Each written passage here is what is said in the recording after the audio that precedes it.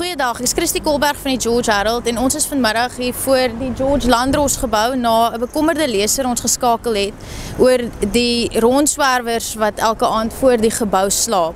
Volgens haar word hulle elke aand al hoe meer en ons is hier om te hoor hoekom hulle juis hier slaap en nie by die beskikbare nagskuiling nie. Te Germen, hoekom um hoekom slaap julle hier so in die aand en nie by die night shelter nie?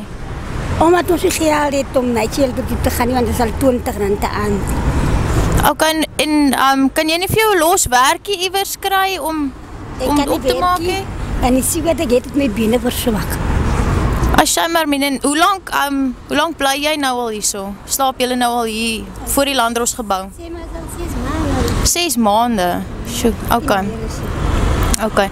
En um, wat is wat is jou plan nou as jy gaan jy nou maar net hier bly of hoe wil jy nou maak? Eintlik van Willemo. Okay. En my kind, my kind is in gesê, hy gaan eers die huis regmaak van hom, dan kom al die my na my huis toe.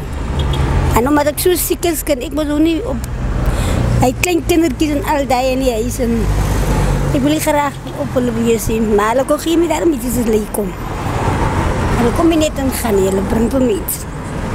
Okay, so jy bly nou hier en julle slaan elke aand julle kamp op en dan en dan bring jy mense maar vir jou goed soos wat hulle kan.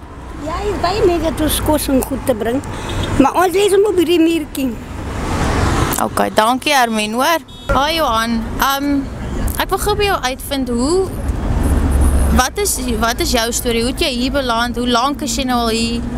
En hoekom slaap jy hoekom verkies jy om hier te slaap as waar jy in die shelter kan gaan, in die nagskuiling kan gaan bly? Wel, die mense by die nagskuiling sê vir my ja, ek kan hom nie inbring nie. En as hy nie kan ingaan nie, gaan ek nie. Want, want ek het hom nou al 'n jaar en 7 maande. En ek gaan hom nie afstaan nie. Nie as in die SPCA of dit nie. En ek is nou hier al amper 3 maande op George. Elke keer is daar ander mense wat my help met klere en daai goed. Dat ons nou nie moet koud kry en daai nie. Mm, mm. En nou gisteraan steel hulle weer sy kombers. Sy maatjie en sy jersey. En um werk jy deur die dag of hoe verdien jy uh, hoe verdien jy inkomste vir julle? Wel ek kry SASSA elke einde van die maand want ek mos epilepsie en blackouts.